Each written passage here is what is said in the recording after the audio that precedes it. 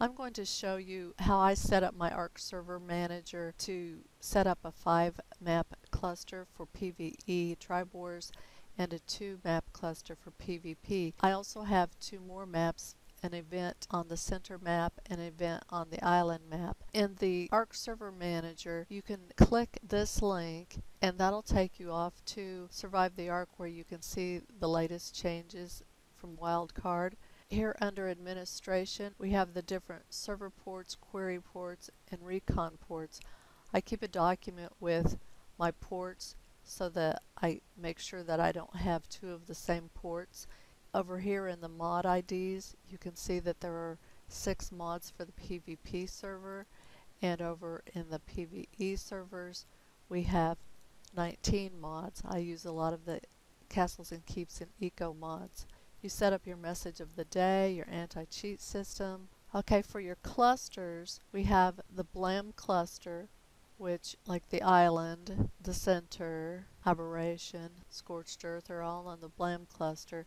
And then on the PvP Ragnarok, we have the BLAM cluster PvP and the BLAM cluster PvP for the center. We have the launcher ARGs, the affinity, and this lets you set up under Task Manager details if we go to the shooter game and you were to look at the set affinity, you'd see that each map uses two nodes. This server has 12 cores and 24 threads, and so you'll see that we have 0 through 11 and 0 through 11 again, and so it has 24 threads here. It has two processors. And so each map uses the two CPUs, the two nodes. Once you set this up here in the launcher ARGs, like this one, Affinity here, you can see that each map has its own affinity set. Now what we do is we take those 4, 8, 12, 16, 20, 24 nodes and you start from the beginning and it's like you're saying I want to switch these two on for the, the first uh, setting, switch these two on to two and so on all the way down.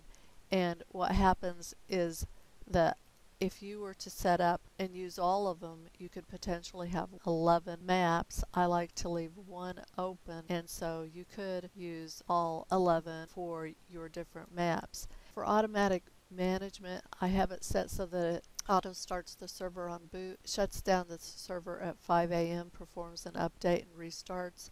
It's in the auto backup cycle, auto update cycle. Over here in the settings, you can set up where you want to install your data directory, what you want to do as far as your updates, your messages. You can even set up email settings to send yourself notices of when you do auto updates, shutdowns, and different things. Now for my rules for my PvP server, I have the enable PvP, whereas for the PvE server, I don't have it enabled and so the settings are a bit different.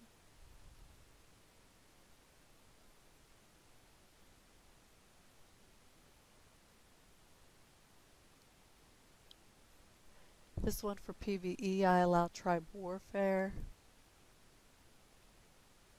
My tribe sizes and alliances are the same. These settings are ignored for PvP.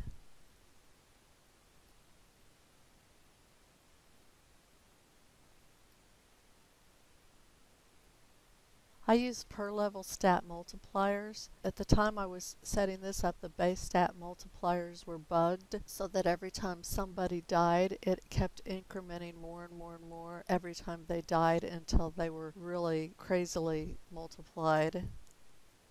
The dino settings are the same. These settings are different from my PvP server to my PvE server. I have my breeding and my taming buffed.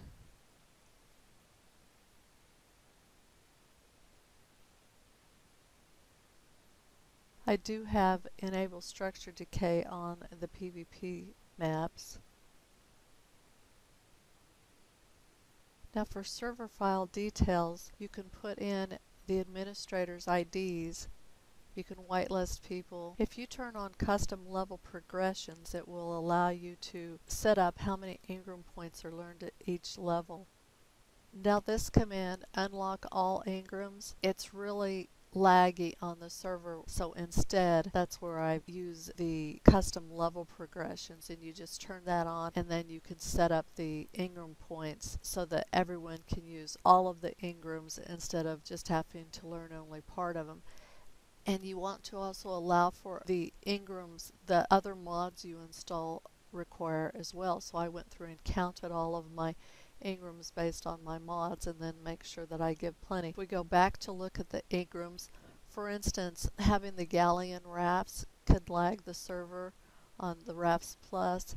So I have that Engram so that it's not learnable and the way you do that is you set it as hidden you set your cost really high your level really high and it'll never show up for them in their Engrams even if you say hidden but you set it at level 1 cost 1 it will still show up in their Engrams I have the teleporter plus the personal teleporter and awesome teleporter disabled as well so that me as an admin, I'm the only one who can spawn the teleporters, and I do give these out as prizes at my events. The auction house can also lag a server if you have them all over the place and let you let your players have them all over the place.